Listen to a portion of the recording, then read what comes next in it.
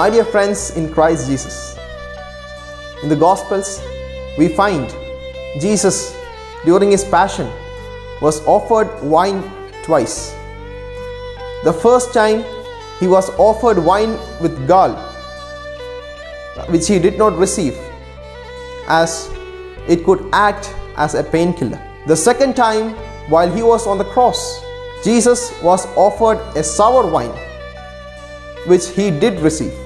The sour wine was a common drink among the Roman soldiers, which was meant to refresh the one who drinks. Jesus did not want to shy away from his cross, even through intoxicant means. He wanted to have it in its fullness. This Lenten season invites each one of us not to shy away from our cross or run away from its pain, even through drugs or alcoholism. Amen.